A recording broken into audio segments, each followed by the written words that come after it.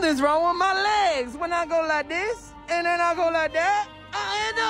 Like thicker and they're like a little bit wetter.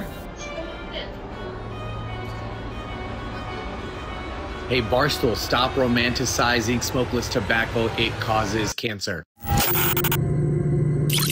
there's one thing that has a chokehold on teenagers here in the US, it has got to be vaping. They will literally lose their mind, flip the household upside down just in order to get their USB that is a slow killer. Now, there is a safer alternative that has been going on for decades in Scandinavia, which is Norway, Denmark, as well as Sweden, I believe. We will be discussing whether this is a safer alternative or just a lose-lose situation, a slow killer just like the vapes are. So let's get into it.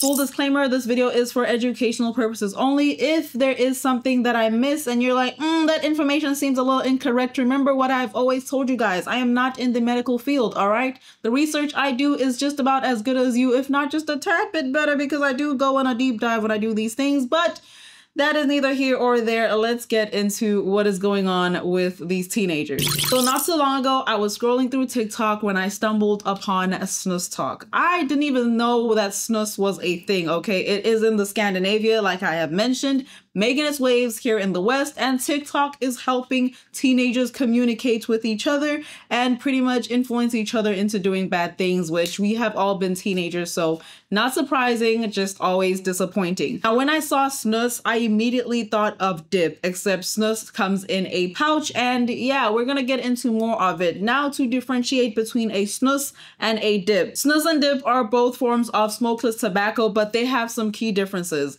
Snus is a product originated in Sweden, which, for your information, is illegal and banned in the EU except Sweden. Now, I don't know about Denmark or Norway, but it is definitely banned in the EU. So this has been a popular smoking alternative in Sweden for decades. It is a moist, finely grounded uh, tobacco that comes in small pouches. Now, I stumbled on tobacco because it also has nicotine. We're gonna get into all of that. You pretty much take this cancer-forming pouch and you stick it up into your upper lip. Now, unlike dip, Snus doesn't require you to spit. And if you have seen those dippers that spit, that spit looks like some ugly juice that, uh, yeah, it's very disgusting pretty much. The reason why snus is truly appealing to a lot of people is because it is somewhat discreet as well as you don't really need to spit. Plus it's flavored, making it more palatable, especially to new users. Now, nicotine and tobacco are closely related, but fundamentally different in terms of their composition as well as their effects. They're pretty much like cousins or maybe even siblings. So we're gonna start with nicotine, which is a naturally occurring chemical compound found in the tobacco plant. It is a stimulant that primarily affects the central nervous system and is highly addictive. So when you consume it, nicotine causes the release of dopamine, which is a neurotransmitter associated with pleasure as well as reward, which is why it leads to what? Addiction. Nicotine can also be delivered to the body in various forms, including smoking, vaping, and using nicotine replacement therapies like gums or even patches. Now, tobacco, on the other hand, refers to the leaves of the Nicotiana plants, which contain nicotine as well as the host of other chemicals.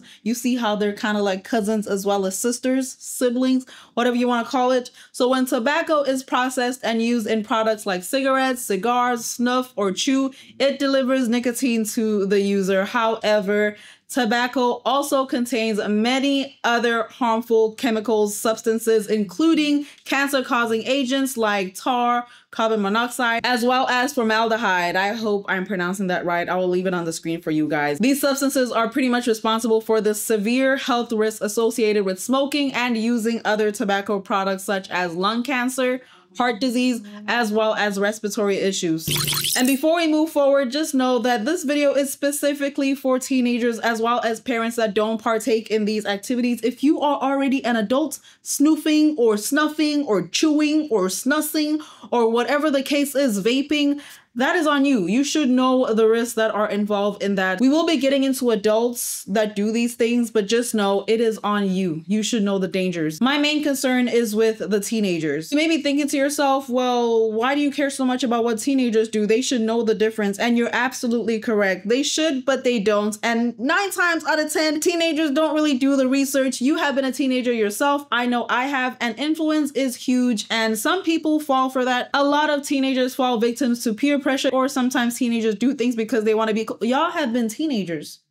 Why am I explaining this? A dip or moist snuff is another type of smokeless tobacco, which is typically used in a more conspicuous way. You may place it between your lower lip as well as your gum, and because it produces a lot of saliva, users often spit out the excess. So if you've ever seen somebody spitting inside a container of any sort continuously, they're most likely dipping, and it is, uh, in my opinion, very disgusting. Anyway, so dip has higher levels of nitrosamines, which are cancer-causing chemicals, making it particularly hazardous when it comes to oral as well as throat cancers. Now, you might have heard that snuff is a safer alternative, and I have mentioned it as well in the beginning when it is compared to smoking as well as using dip, and to some extent, that is true. There's no burning like with cigarettes. You're avoiding the risk associated with inhaling smoke, such as lung cancer and chronic obstructive pulmonary disease, which I believe is COPD. In fact, Sweden, where snuff is widespread, has some of the lowest rates of lung disease in Europe. But, and that is a big but, this does not mean that it is without risk. Snuff still contains nicotine, which is highly addictive. So while the nitrosamine levels in snuff are lower than in dip, they're still significantly higher than what you'd find in everyday foods like nitrite preserved meats. Now, these nitrosamines are directly linked to various cancers cancers, including pancreatic cancer, which has been shown to occur at higher rates among snus users. Like I've said before, there's also issues of oral care. Snus use is associated with gum disease, tooth loss, as well as oral mucosal lesions, basically sores or abnormal changes in the lining of your mouth that can be precursors to cancer. So while you might not be spitting brown juice into a cup all day, your gums and your teeth are still taking the hit. Now here's where things get extremely concerning. In recent years, there has been a noticeable trend of teens using snus as a way to quit vaping on the surface, this might seem like a smart move. Vaping has been linked to a range of respiratory issues. I have talked about them in my other videos, including the now infamous vape lung, popcorn lung. So teenagers, as you may think, are probably saying, if I'm not inhaling anything, then I'm probably safe. Well, not really. This is where the analogy of putting a band-aid on a broken glass comes into play. Sure, you're dodging some of the immediate dangers of vaping, but you're not actually solving the core problem problem. You're simply just shifting it. Nicotine addiction remains, and with it, all the associated health risks are there. And let's not forget that snus isn't exactly a harmless product. The long-term use of it is still linked to serious health issues, including an increased risk of pancreatic cancer, heart disease, type 2 diabetes, as well as oral cancer, as I have mentioned with a dip, as well as chew, as well as snuff whatever you guys call them, vaping, they all have some type of health issue related to them. So the biggest issue I have with teens switching from vaping to snus is that they're not really quitting. They're just trading one form of nicotine for another. Nicotine is incredibly addictive, like I have been saying, whether you are getting it from a vape, a cigarette, a little pouch of snus. The issue is that once you're hooked, your body craves that nicotine continuously, and it becomes incredibly difficult for you to break free from the shackles of nicotine as well as tobacco. I don't know where that came from. And this whole trying the safer route with snuffs leads to what the public health experts call a dual use, where individuals end up using multiple nicotine products. For instance, a teen might start with vaping, switch to snus, thinking it's safer, but then go back to vaping or even pick up smoking as well. This kind of behavior doesn't reduce the health risk, it only multiplies them. At this time, let's get into people's commentary. It will be some doctors, parents making bad decisions, as well as teenagers that just love it all so much. Let's get into it. You know smoking and vaping are bad for your teeth, but what about snus? I'm a dentist, let's get into it. So for those of you that don't know, snus is essentially tobacco. It's in this form, you put it between your gums and your teeth, and it has a very close contact to the gums, the teeth, and the lips. So you have a slow release of the chemicals. What effect can this have on the gums and teeth over time? Over time, it can cause gum recession because, as you can imagine, the product pushes up on the gums and the gums can recede, and obviously, this is a problem. It also has been shown to affect the gums in terms of gum disease. Why? Because it affects the good bacteria in your mouth. Mouth has good bacteria and bad bacteria, and basically, what it does is it tips the mouth in the favor of the bad bacteria, so you're more prone to getting gum disease. The other thing is the grittiness of it can cause tooth grinding, which can also make your teeth become shorter. That's a smaller side effect. And lastly, it can cause lesions in there, and if left for too long, it can become cancerous. So overall, we don't recommend it. You don't see many people do it in the UK. It's more likely to be seen in Scandinavian countries, but definitely stay away from it. Let me know if you have any more questions. And like if you're American and you've only tried the Zyns that they sell here in the States, they're not the same. Let me tell you, this is from a Swedish person. This is how it's supposed to be. First of all, they're supposed to have a lid where you can dispose your Zyn when you're done with it. So you don't have to like leave them in a random place or like spit them out. And if someone asks you, do you want a Zyn? You're supposed to be able to do this. Like that's how you're supposed to offer it. You can't do that with the packaging here in the States. And then, like, how cool does this look? If someone's like, oh, can I have Zyn? Absolutely. like, that's my party trick. Secondly, or thirdly, whatever. They're like thicker and they're like a little bit wetter. Like, they have like, they're like juicier. They're not like dry. And they're not six milligrams, they're 6.5. Like, I'm such a happy Swedish person right now. Also, I think I should be the Zyn girl. I've been petitioning this for a long time. Like, I think I made Zyn popular. And I think that is not something to be prideful of. Anyways, this is what gum disease looks like because a lot of us hear gum disease and we're like, eh, we bet an eye for it, but I thought it'd be important to show you guys exactly what it looks like. We're gonna get into a doctor that talks about it later, but this is oral cancer as well. If you did not know, it usually typically starts in the tongue, I believe, but yeah, this is what it looks like. So uh, let's continue. Serious question. So do people still dip snuff? I remember my grandmother used to dip snuff and my grandfather used to chew tobacco and we almost used to pick up her dip bottle and drink out of it because she used to put it in a Coke bottle. So I remember one time I almost drank it. I'm telling you, somebody stopped me before I could. But do people still do that? One of the more interesting parts of history is that it always repeats itself. So what your generation was doing back in your time may not come to you in about five years or may disappear, whatever the case is, but it will indeed come back. Nothing is new under the sun. I personally just think that is amazing. And I'm sure there are plenty of other things that are gonna resurface in the next years to come, which some of it is very positive and I love it. And then you have things like this where I'm just like very disappointed, but we're gonna keep going. All right, watch how I popped in my lip pillows. Very demure, very mindful. I'm not just grabbing them out of urinals or storm drains. I've learned my lessons.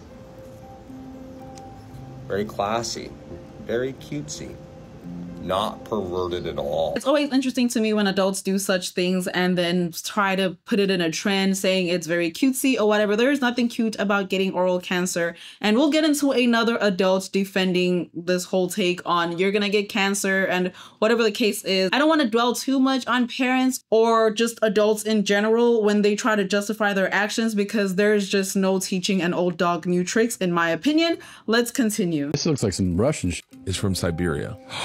Holy sh! It's not even white. It smells like ammonia. Maybe we should stick to Zyns. You try one. Yeah, I'll try one.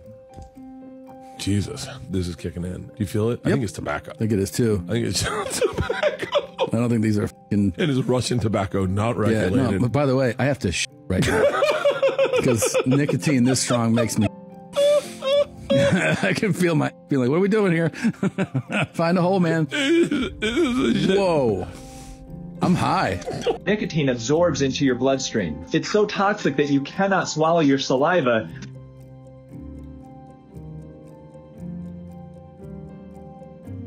Yeah. You need to take that, uh, that shit out your mouth. No, Yeah. I ain't got no teeth. Yeah, you do, bitch. Take that shit out. Alright. Is that too much? Mm, that's enough for you. That's plenty. Yeah. Come on. Slow down the mat. Don't. If, if you got the urge to spit, spit in trash. Don't swallow nothing. Spit. Not the same way. It's very. Oh yeah. You got virgin gum. Baby, shut up. Thinking I did know her laugh and shit coming out making sick. Cause Matt, it don't come, don't come out. Oh, yeah, oh, I like that. I don't know why after watching that my mouth forms saliva more than it usually does and some things you just have to watch from a distance. There are some things in life where I just learn off of other people doing it and I just know that I do not want to partake in any of this crap that you are doing. As I said before, influence is one hell of a drug on its own and if adults can be influenced, peer pressured, whatever you want to call it, imagine teenagers. And so it is not surprising that they are trying this and some of them are ending up being addicted to these things trying safer alternatives but making the issues worse. Now this is the lady that was justifying the cancer causing crap. Now, do you think I don't know the risk 16 years ago when I actually started dipping that I could possibly one day have cancer? Did you know that certain foods, lots of foods, those can give you cancer? You know how many other things there are out there that you consume every day that can give you cancer? I got one life. I'm living it. I'm happy. I'm good. And if I get cancer and I die happy, then so be it. I'm not gonna quit dipping. Okay. This adult life out here, all this going on, that's too stressful. You know what? When it calms down, which will be never, I might try to quit. But until then, I'm gonna enjoy my dip. You have the day you deserve.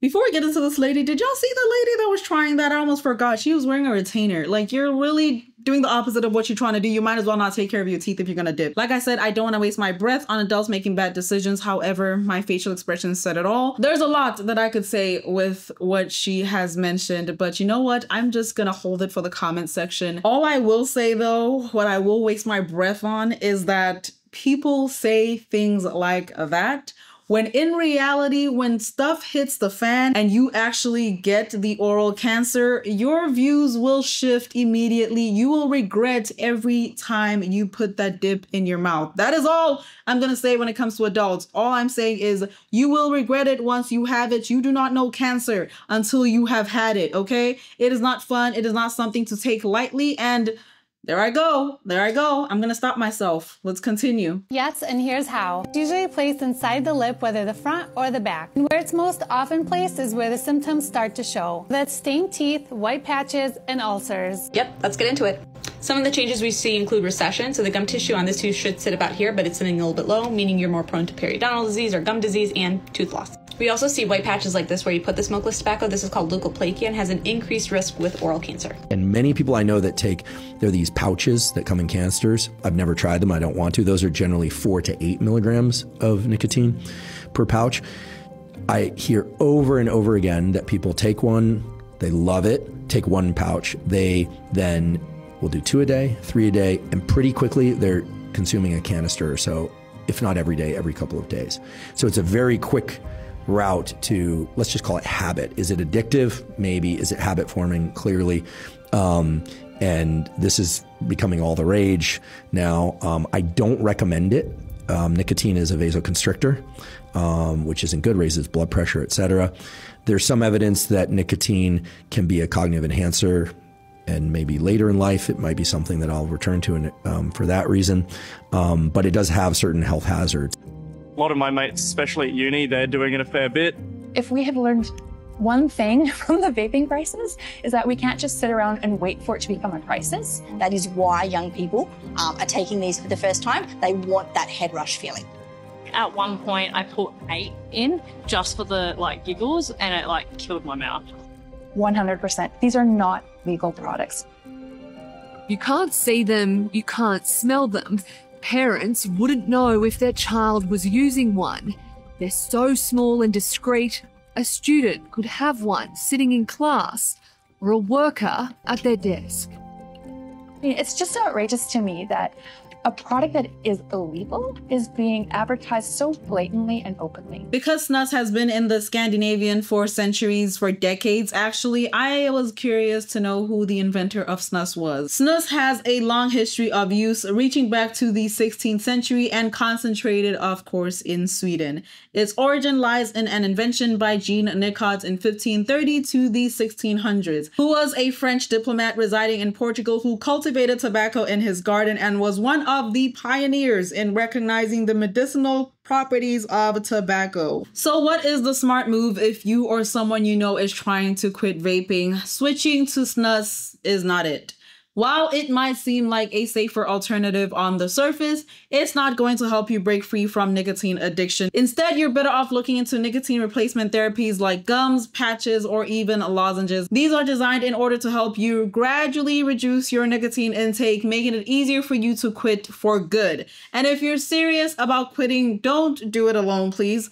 Support groups, Counseling as well as quit lines can provide the help as well as the encouragement you need in order to stay on track. One thing to know, just like any other addiction, it is not easy to quit, but it is definitely possible and it is the only way to truly escape the nicotine trap. At the end of the day, snus might seem like the better option, the better alternative compared to vaping or smoking, but it is really just a different version of the same problem. The health risks are still there. Switching products isn't going to help you quit. It is just going to keep you hooked on for a very long time until you make that smart decision. So before you reach for that pouch of snus, that pouch of chew, snuff, whatever you call it, thinking it is a safer alternative, remember it is just another form of the same addiction. And the only way out is to break the cycle entirely.